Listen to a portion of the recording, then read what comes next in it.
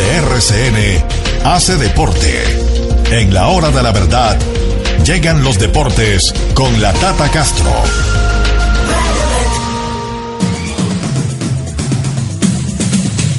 Los deportes, Tata. Hola, muy buenos días. Bueno, doctor Londoño, le cuento que hoy se dio una sorpresa grande en el abierto de Australia. Hay muy buenas noticias para Colombia, ya les vamos a contar, pero la sorpresa de hoy a mí sí me llamó mucho la atención y es la eliminación del el ganador seis veces del abierto de Australia, el serbio Novak Djokovic. Además fue eliminado por un jugador de 21 años, número 58 del mundo, surcoreano. Hyun Chung, vi el partido, doctor Londoño, terminó 7-6, 7-5 y 7-6. Este mismo jugador eliminó nada más ni nada menos que al alemán Alexander Berev en cinco sets. Mm, ¿Cómo le parece? Y oiga otras cositas. de 12 años ganó el Orange Bowl. Usted sabe que es el Orange Bowl. Este es un torneo que se caracteriza porque allí salen las grandes figuras, el semillero.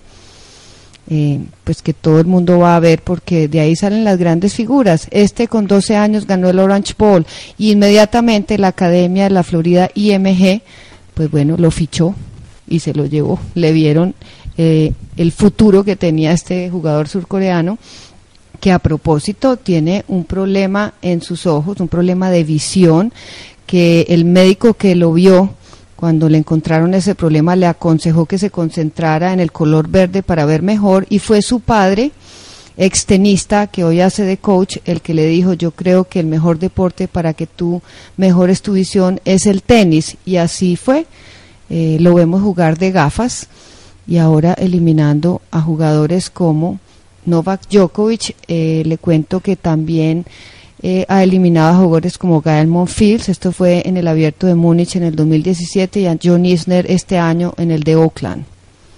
Creo que se viene un gran jugador, doctor Londoño, 21 años. Esperemos que sea así, es alto, es corpulento, es delgado. No, él es, es, es cuajado, es, es musculoso, pero eh, ellos no son altos. No, él no es alto. Eh, ahora se va a enfrentar, porque ya están listos los cuartos de final en ambas ramas, se va a enfrentar a otra de las sorpresas en este abierto de Australia. Estamos hablando de un jugador de Estados Unidos que alcanzó los cuartos de final. Apellido Sandgren de Estados Unidos, tiene 26 años, número 97 del mundo y eliminó antes a Stan Wawrinka, el suizo. O sea que estas, estas dos grandes sorpresas se van a enfrentar entre sí en cuartos de final. Siendo el americano, pues un jugador ya eh, por su edad debería estar maduro, ¿no? 26 años ya 26 años. Sí, señor. Eliminó a Babrinca en segunda ronda. Estoy aquí mirando cómo se llama el americano. Se llama Tanis Sangren. Ese es el nombre de este jugador que es 97 del mundo y es otra de las sorpresas y se enfrentará al verdugo de Novak Djokovic. Pero hablemos de la buena noticia para Colombia y es que eh, Cabal y Fará, Robert Fará y Juan Sebastián Cabal avanzaron a cuartos de final este fin de semana, 6-1, 6-2, ganaron muy fácil el enfrentamiento frente a la dupla de la India, Leander Páez y Pura Raja. Y ahora se enfrentarán a los australianos Leighton Hewitt y Sam Groth que ese debe ser como el retiro de los dos, ¿no? Leighton Hewitt que se retiró hace mucho rato de la categoría individual y bueno, vamos a ver cómo les va a los colombianos. Me parece que tienen mucha posibilidad de llegar por primera vez a semifinal en este abierto de Australia. Bueno, otras noticias. Hoy Roger Federer avanzó a los cuartos de final. También lo hizo Rafa Nadal el día de ayer. Eh, el defensor del título logró su cuarta victoria en fila sin ceder un solo set, doctor Londoño. Oiga eso, como lo está haciendo el defensor del título Roger Federer. Eh, derrotó al húngaro Marton Fuxovic 6-4, 7-6 y 6-2. Fuxovic fue el número uno del mundo en juniors. Mire qué lindas estas historias que hay detrás de estos jugadores que dan la sorpresa. Eh, en damas contamos de la jugadora ucraniana que por primera vez llegaba a tercera ronda de un gran slam y ahora mire aquí estamos hablando de Fuxovic, este jugador eh, húngaro que fue eliminado por Roger Federer hoy 3-0. El próximo rival de Federer será nada más ni nada menos que Tomás Verdich.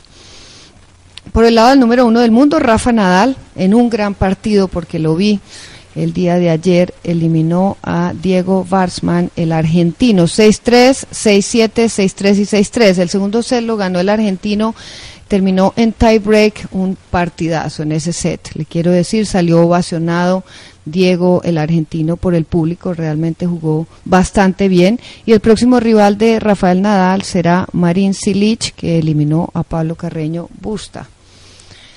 Así que los cuartos de final, Nadal con Silich, los dos que le cuento que fueron sorpresa. Eh, Kyle Edmund, el inglés, va con Dimitrov. Usted me dijo que vio eh, un partido de Dimitrov un poco. Uy, excelente partido. Dimitrov y, el, griego griego australiano. Kirios. Kirios. Que lo vi más tranquilo, está menos, menos payaso, menos espectacular, jugando un gran tenis y Dimitrov jugando también espectacular. Es que además, si miramos ese marcador, doctor Londoño, pues, se nota que fue un excelente partido. 7-6, 7-6, 4-6 y 7-6 ganó Dimitrov. Excelente partido. Ganó en tres sets, ganó por tiebreak.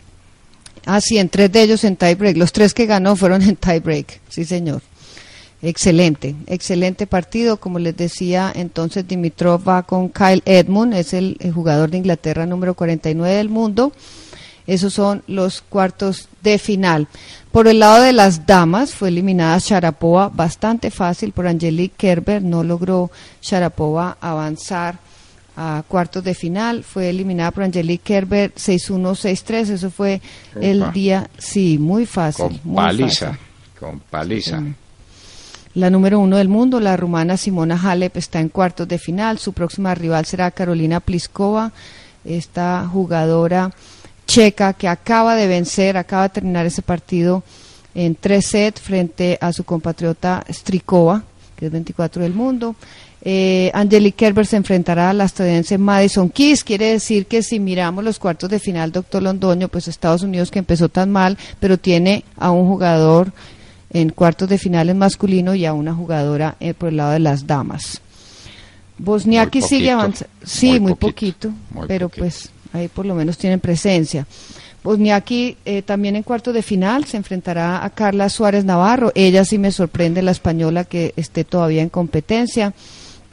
Y Elena Vitolina, la ucraniana, 4 del mundo, está frente a la belga Elise Mertens, 37 del mundo. Por el lado del el colombiano en la categoría junior, Nicolás Mejía, bueno, fue eliminado en primera ronda en su primer partido. Sí, sí fue eliminado por este jugador brasilero que les habíamos contado. Eh, esta noche comienzan los cuartos de final. Como les decía, se juegan dos partidos individuales en ambas ramas, Vitolina con Mertens, eh, Carla Suárez frente a Bosniaki, Dimitrov va con Kyle Edmund y Rafa Nadal con Marín Silich. El partido de Rafa Nadal está programado para las 3 y 30 de la mañana. Mm, o sea, mañana. sí. Mañana. Muy bien. Sí, señor. Bueno, para terminar, eh, hablemos de otro de los triunfos por el lado de los deportistas colombianos que dejan muy en alto el nombre de Colombia. Estamos refiriéndonos en ciclismo a Fernando Gaviria. Empezó la vuelta a San Juan en Argentina. Gaviria ganó la primera etapa y es el líder de la clasificación general. Ganó en el embalaje a los italianos Nicolo Bonifacio, que fue segundo, y Mateo Pelucci tercero. Hoy segunda etapa de 150 kilómetros entre Sonda y llegan al mismo sitio. A Sonda es una etapa diferente, tiene un final en alto. Pero bueno, excelente comienzo el de Fernando Gaviria del equipo Quick Step. Empieza liderando, ganando la vuelta a San Juan. Eh, ya ha tenido muy buenos resultados Fernando Gaviria en esta vuelta. Eh, así que esperemos siga así. Un buen comienzo. Su meta es el Tour de Francia, como la de muchos, ¿no? Es ganar eh, bueno, etapas. Y le quiero contar que James Rodríguez volvió a brillar con su equipo. Señor. ¿Usted vio esa asistencia que le hizo a Müller? Mm, Ese globito que le hizo por encima de toda la defensa, un globito con su zurda, que Müller lo leyó muy bien y lo aprovechó y, definió muy bien eh, Tomás Müller. Si no, James está volando, como diríamos, en el Bayern, que volvió a ganar 4-2 el Bayern frente al Werder Bremen. Volvió a ganar, pues, esta vez 4-2 frente al Werder Bremen con un excelente partido de James Rodríguez, sexta victoria consecutiva para el cuadro bávaro. Muy buena noticia. Y mañana, que no tenemos más tiempo, hablamos porque ya están listos los equipos que jugarán el Super Bowl. Sí, señor. Los Patriotas continúan en competencia. Llegan al Super Bowl. Frente a las Águilas de Filadelfia. Mm. Sí, señor. Se impuso la localía. Me parece que fácil para los Patriots. Bueno, pero ya veremos. creo. Mañana hablamos de eso. 9 y 51 minutos, todo en deportes. Viene la música. Manzana Postobón, patrocinador oficial de los momentos color rosa del deporte colombiano.